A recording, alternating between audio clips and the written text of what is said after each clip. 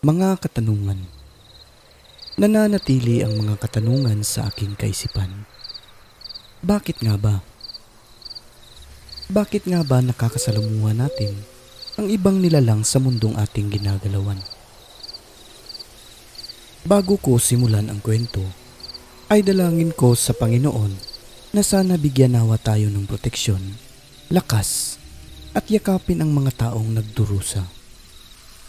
In nomine Jesu Christi. Amen.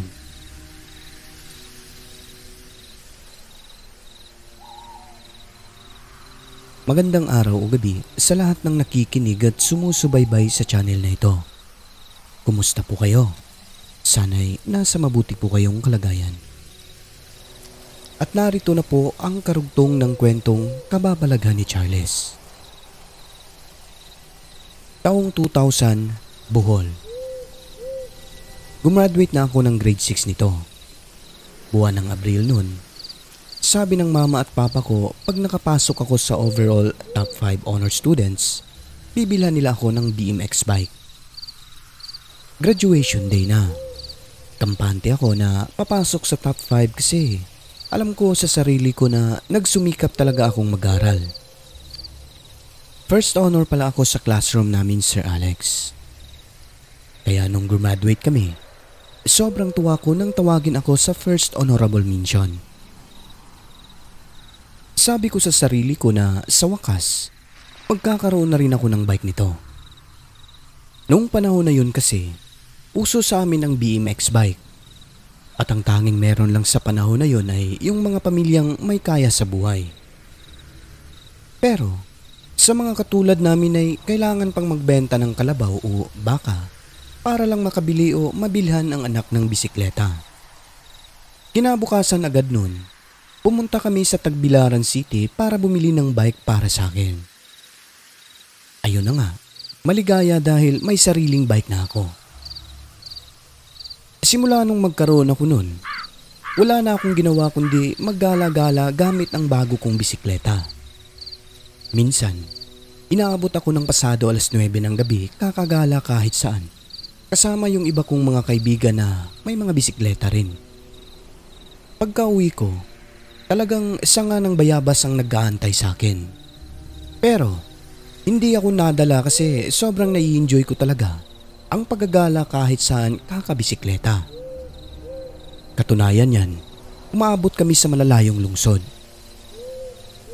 Isang gabi, pasado alas 10 na yun at pauwi na ako galing sa galaan namin. At nga pala, yung bahay namin sa panahong ito ay nasa palayan pa. Nang sapitin ko yung manggahan na sobrang madilim na daanan pa uwi sa amin, bigla akong kinilabutan at nanginig dahil sa iba ang pakiramdam ko na para bang may nakamasid sa akin.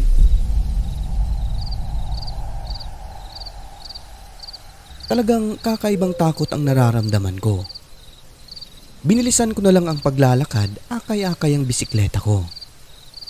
Nasa isip ko, pag may biglang sumulpot sa harapan, sisigaw ako at hihingi ng tulong. Tapos kakaripas na ng takbo, bahala na lang maiwan yung bisikleta ko.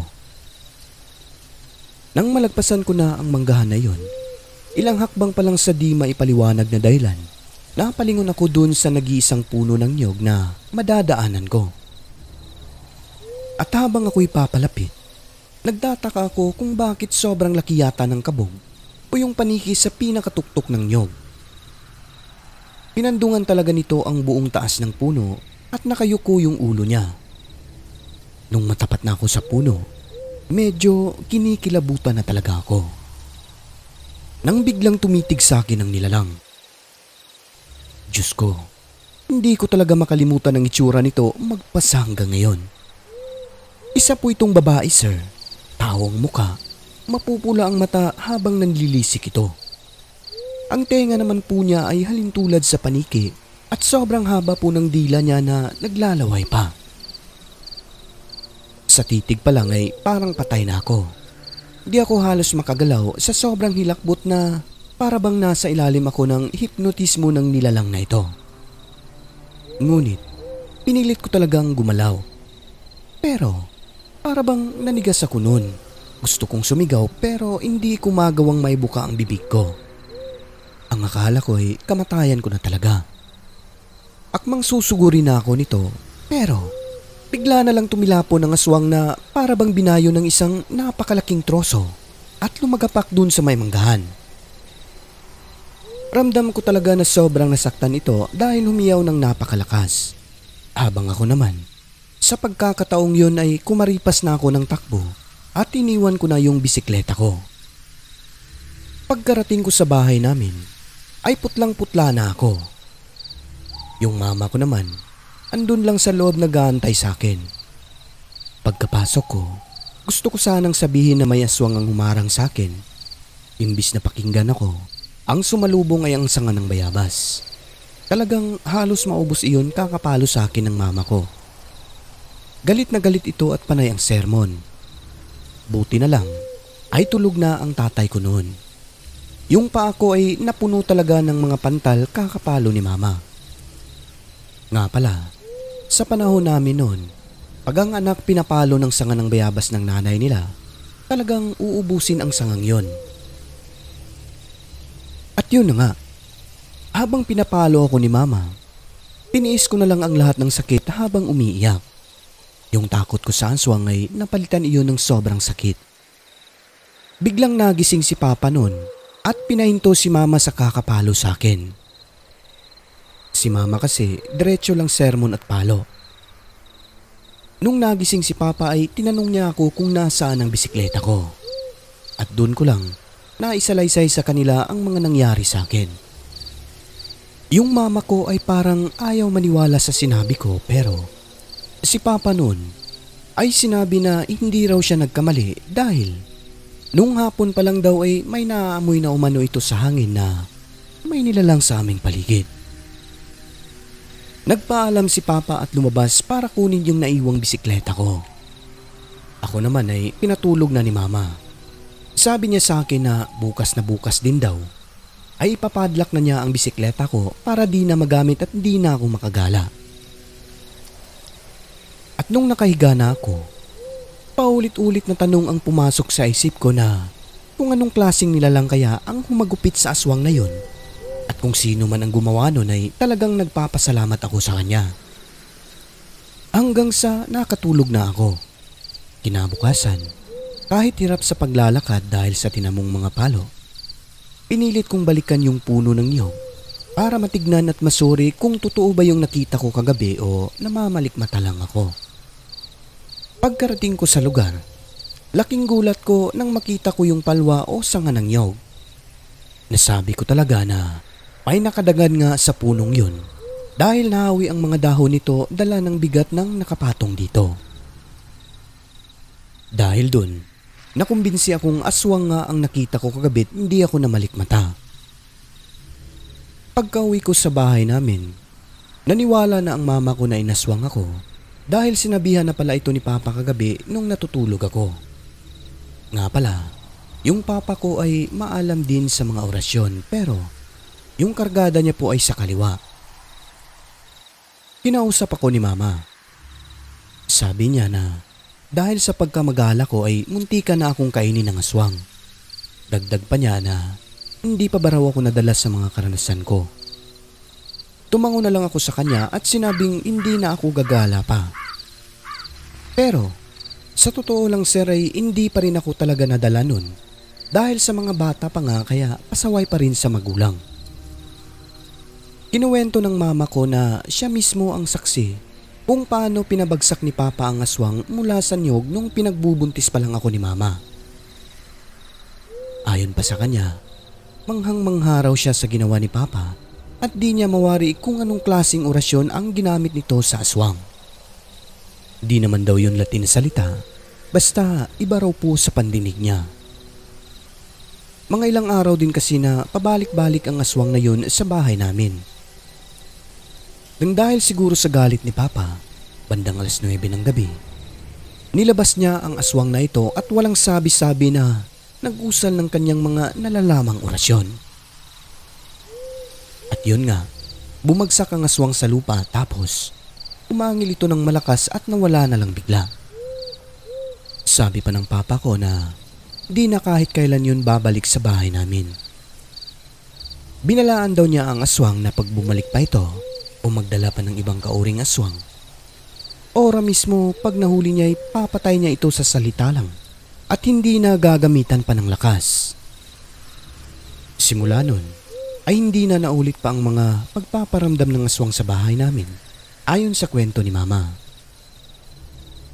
At yun na nga, matapos mangyari sa akin yun, makaraan ng ilang buwan ay inabangan po ako ng aswang. Binagyo ng malakas ang lugar namin. Nasira ang aming tahanan kaya napilitan kaming lumikas patungo sa bahay ng lola ko. Pero ang papa ko po sir ay ilag sa lola ko. Ni minsan ay hindi ko pa nakitang nagkadikit sila ni lola. Kalimitan, nasa isang daang metros pataas ang distansya ng dalawa. At yun na nga, nung lumikas kami ay ayaw sumama ng papa ko Ayon sa kanya na gagawa na lang umano siya ng kamalig at ayaw daw niya na makitira sa bahay ng lola ko. Yun nga, gumawa siya ng sariling kamalig dun mismo sa nasirang bahay namin. Mabuti na rin daw yun kasi mamomonitor niya ang palayan, yung garden, mga alagang baka at kalabaw namin. Nung ando na kami sa bahay ng lola namin nakatira, sobrang dami kong karanasan na nagbigay sa akin ng kalituhan kung ba't ganito ang lola ko. Napupuna ko rin ang kakaibang galaw nito. Si lola ko kasi sir, sabihin na natin na napakareligyosa niya. Ngunit, ni minsan ay hindi ko po siya nakitang nagsimba. Pero sa kwarto nila ni lolo, may malaking altar po doon na puno ng iba't ibang ribulto ng mga santo at may namumukod tanging isang napakalaking santo ninyo sa pinakagitna ng altar. Tatlong dangka lang po ang haba nito tapos nakapasan sa balikat niya ang mundo. Lagi rin pong may nakasiga o nakasinding maliit na ilaw na tawag sa amin ay suganan. 24 oras po yun na hindi pinapatay. Yung lola ko lang din ang naglalagay ng gas at pag naubos ito ay ako lagi ang inutusang bumili. Maliit na babae lang pala ang lola ko, sir. Isang puna ko rin sa kanya ay dalawang beses lang itong naliligo sa isang linggo. Yun ay sa araw ng Martes at Webes. Magkaparehong oras at nasa pagitan ito ng alas 12 ng tanghali. Ang kakaiba lang ay may malaki siyang palanggana tapos halos puno ito ng tubig at nilalagyan niya ng mga bulaklak, iba't ibang ugat at mga dahon. At habang naliligo ito, nakabilad siya sa init ng araw sa gitna ng palanggana. Hindi rin po siya gumagamit ng synthetic na sabon kundi yung katas ng ginadgad na niyog. Halos isang oras din ito kung maligo sa gitna ng araw. Kahit na umulan o walang araw, sa labas pa rin siya naliligo. At nga pala Sir Alex, base na rin sa kwento ng mama at mga tiyahin ko, ako lang daw ang pinakamalapit na apo kay Lola. Mainit daw lagi ang ulo nito sa iba kong mga pinsan kung kaya hindi sila lumalapit kay Lola. Kaya pala ako lagi ang errand boy o yung laging inutusan kapag may bibilin o may papakuha si Lola. Kaso lang, pag naguutos ito sa akin, may taning. Magluluwa siya ng laway sa lupa tapos kailangan ko raw makabalik agad sa bahay bago pa matuyo ang laway niya sa lupa kundi malilintikan ako. Ako naman ay binibilisan ko lahat ng mga utos niya dahil lahat naman po yun ay may kapalit o may premyo. Kadalasan pera, dalawang piso na buo, yung dekago na may puno ng nyug sa gitna. Minsan ay bobot, di naman kaya ay yung itbulaga na mais. Simula nung nakatira kami sa lola ko, ang dami ko talagang pinagtatakahang bagay sa kanya. Isang araw ay nagkwentuhan kami. Unang sambit niya sa akin Yang papa mo, hindi ako galit sa kanya. Galit ako sa karga niya kasi itim ang dala. Wika ni Lola. Di naman po ako nabigla. Kasi nasabi na rin ng mama ko ang tungkol sa karga ni Papa. Yun nga, yung karanasan niyang pinagbubuntis pa lang ako.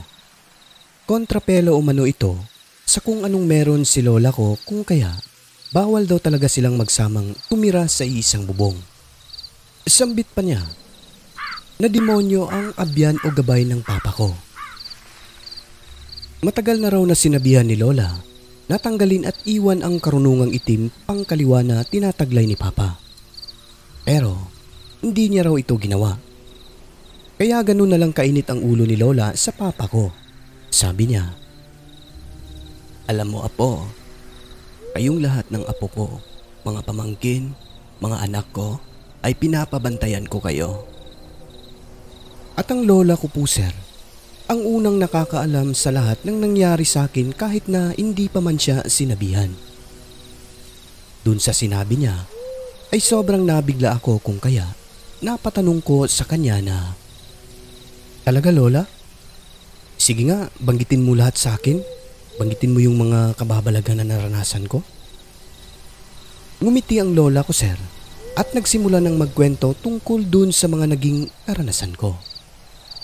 Sobrang mangha ko po dahil detalyado lahat at saktong-sakto ang pagkakwento ng lola ko sa mga nangyari sa akin. Napanganga na lang ako sa pagkamangha. Lola, uling tanong na lang po. Yung inarang ako ng aswang nung nakaraang buwan, yung aswang kasi parang binayo ng isang napakalaking troso na lumagapak dun sa mga manggahan. Umangil po siya na parabang sobrang nasaktan. Akala ko nga ay namatay na ako nun. Bigla akong binulungan ng lola ko at sabi niya na kaibigan niya umano yon. Isa sa mga abyan ni lola. Pagkarinig ko talagang lumaki ang mga mata ko sa sobrang pagkamangha sa sinabi niya. Tinanong ko siya kung ano ang abyan. Ngumiti lang ito at sinabi na lahat daw ng mga orasyonis merong abyan o gabay sa Tagalog. Yung iba maraming abyan habang yung iba naman ay mangilan-ngilan lang. Kahit yung ibang uri ng aswang ay meron umanong abyan. Anong uri at itsura ang mga gabay lola? Tanong ko sa kanya. Sagot naman po nito ay mga inkantado at inkantada sila. May nakakatakot ang itsura. Meron namang wangis ng tao. Iba-ibang mano ang itsura at laki nito. Kung may abyan na mababait, meron din pong abyan sa kasamaan. Ngunit, naputo lang usapan namin dahil tinawag ako ng mama ko at may inutos sa akin. Sabi ko na lang kay Lola na mamayang gabi o bukas na lang ulit kami magkwentuhan. Sabi niya na bukas na lang at wag sa gabi baka eh matakot daw po ako. Kinabukasan din nun, excited na talaga akong makinig sa mga kwento ng lola ko. Pagkatapos lahat ng utos nito, Pinapasok niya ako sa kwarto niya at doon daw siya magkukwento para walang makarinig. Yun na nga, nagkwento na ang lola ko habang ako naman ay focus lang at attentive sa pakikinig. Ngunit, sa ngayon ay ipagpaumanhin niyo po na atin munang puputulin ang kwentong ito gawa ng may kahabaan po talaga ang kwento na ito. Maraming salamat at sana ay nagustuhan ninyo. Hanggang sa susunod. Charles Anang Buhon Ang mundong ating ginagalawan ay nababalot ng kaiwagaan na tanging ang Diyos lamang ang siyang may kasagutan. Ako po si Alex at ito ang Southern Mindanao Creepy Experience.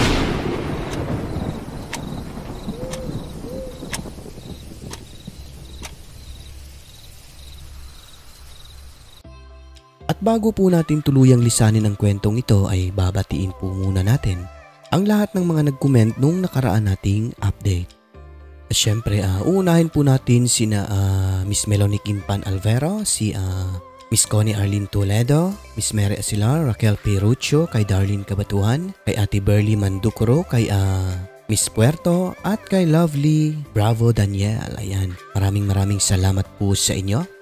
At syempre, binabati rin po natin yung mga nag-join sa channel membership po natin. No? Unang-una kay uh, Errol Bugoy, kay Georgina Bate, ayan na, uh, Wilma Tambuyat, kay Connie Arlene Toledo Vlog, kay Bayot Ako Pero Rakista, Heaven Good Bless, kay Sock Sergeant Creepy Tales, kay Humer Huso, kay Hope Arriker, kay Giuseppe Basilio, kay Elsie Acosta, Lilian Culiado, Mags Mags, kay Juanita Suklan, Jonas Alferez, Darlene Kabatuan, kay Angel Flores, Raquel Perucho, Miss Puerto, Christine Olson, kay Lonely Angel, at kay Noime Rodriguez. Ayan, Maraming maraming salamat po sa mga suporta po ninyo. At syempre, uh, babatiin po natin yung lahat ng mga commentators sa last update. No? Unang-una kay Darlene Kabatuan, uh, first commentator po natin. Ang second honor si Connie Arlene Toledo Vlog. Ayan, maraming maraming salamat po. Kay uh, Darlene Kabatuan, ayan o, uh, si Mugs Mugs, ayan, nahimuot daw siya sa hoy. kay uh, Maricel Pido Timas, kay Badith 32 Taiwan, kay uh, Tiktilaok Stories. Ayan, uh, bisitahin nyo rin po si Tiktilaok Stories. Isa rin pala itong ano, no? Uh, horror channel. Uh, isa rin po palang narrator si Tiktilaok Stories. Ayan. Maraming maraming salamat po sa laging pagkikinig dito, sir. Ayan, no? Uh, good luck sa channel nyo and uh, surely bibisitahin ka namin. Kay Christopher Morales, ayan, maraming salamat sir. Kay Jovi Taghap, kay uh, Razain, ayan, Razain, Razain Aparte, ayan, tama ba? Hello po boss, uh, Alex, first comment here. Ayan, maraming salamat po kay Sinta Toquillo, uh, Janet Liguaton, Nilan Ikanayaka, kay Richelle Isidro, Caroline uh, Hiyorpe, ayan, uh, listening from Kuwait. No? Ayan, maraming maraming salamat po Ma'am Caroline uh, Hiorpe at sa mga nakikinig ng mga no, OFW. Uh, ingat-ingat po kayo dyan sa ibang dako ng mundo. Ayan, kay May Young Sainik, kay Darlene Kabatuan again. Uh, perfect ang kwento si Alex. Next week, September na. Marami ng mga ngaruling nito. Nakasilip na si Jose Marichan para sa kanyang mga Christmas songs. Naka-ready na ko ana, no? Daghan kay kog mga Christmas song diri. Kay Winsis 36, uh, uh, Rose Olalia. Kay Ophelia Yasin, sabi niya top 17 daw siya.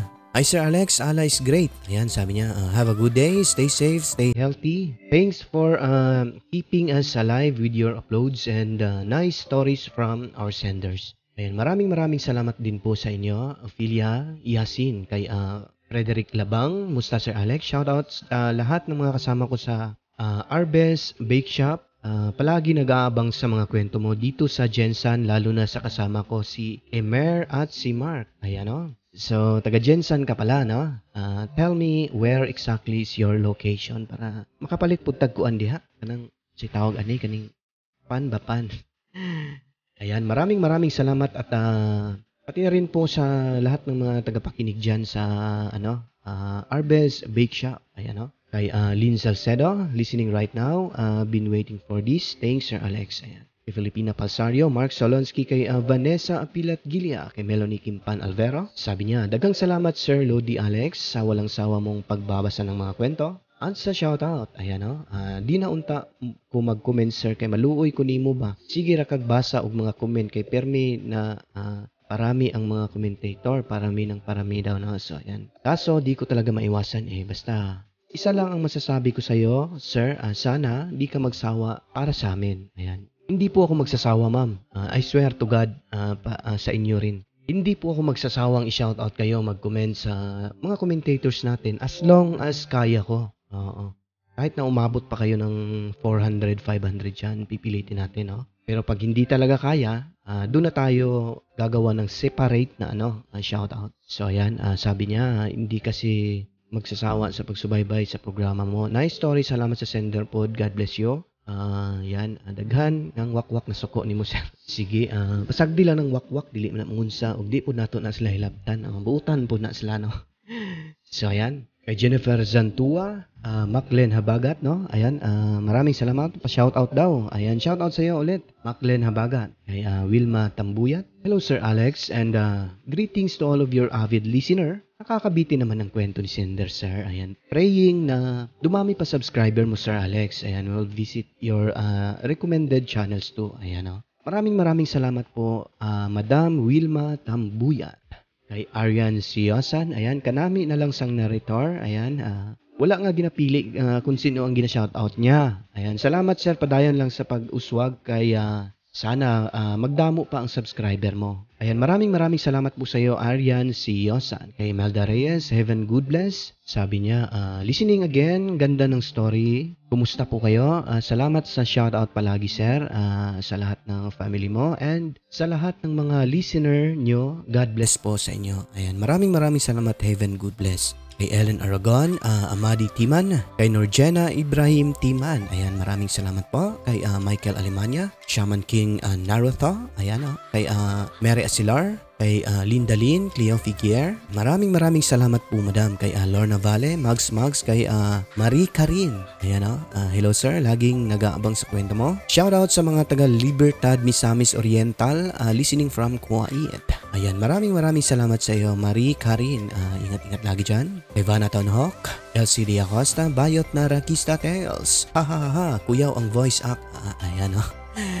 Si Bayot ako pero rakista nga vlogger no. Sige, bisitahan ninyo na kay daghang mong balaan na sa iya dito. Kay Jennifer Eriman, siyan kayo kabansag, uh, mga kabansag family kumusta kayo diyan?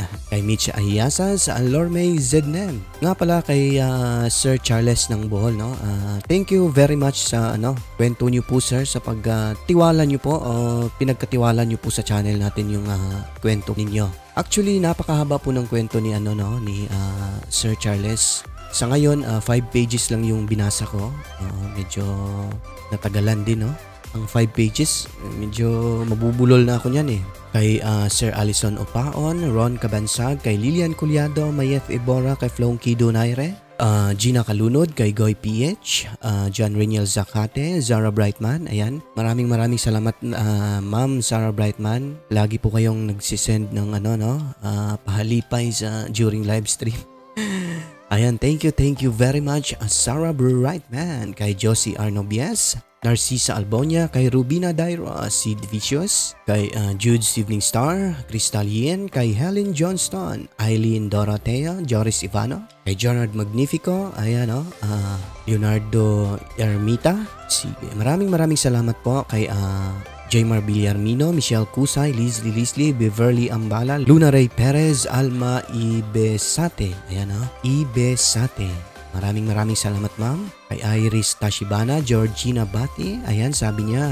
Good evening Sir Alex. Paki-shoutout naman po yung pamangkin ko na bagong subscriber mo. Si uh, Rovelyn Valiente. Maraming maraming salamat po Georgina Bate at shoutout sa iyong uh, pamangkin na si Rovelyn Valiente.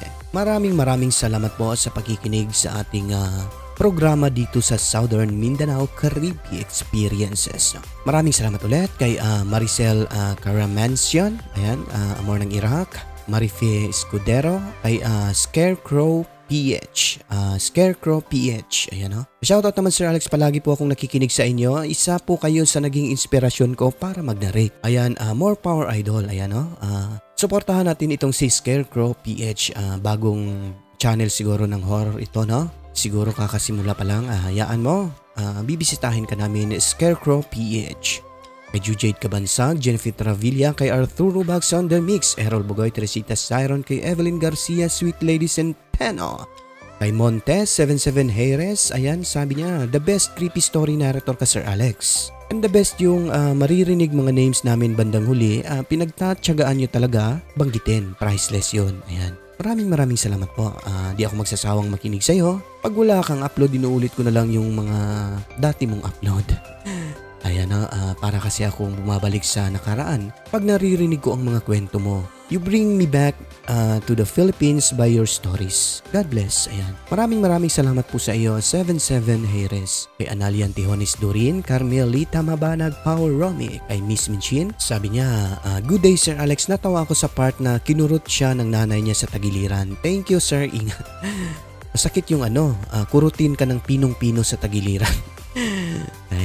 Kay Randy Aloro, Wilma Tambuyat, at kay Mags Mags. Sabi niya, uh, part 3 please, amping. Ayan. Sige, uh, eto na yung part 3. At sa lahat ng mga silent listener ay welcome po kayo sa channel natin. Pumasok na po kayo at i-hit ang subscribe button. Siyempre, huwag niyo pong kalimutan ng notification bell para naman po ay updated kayo sa mga bagot nakakasabik naming mga kwento. Muli, maraming maraming maraming maraming salamat po sa mga suportang binibigay po ninyo sa channel natin. Huwag kalimutang tumawag sa taas. I love you.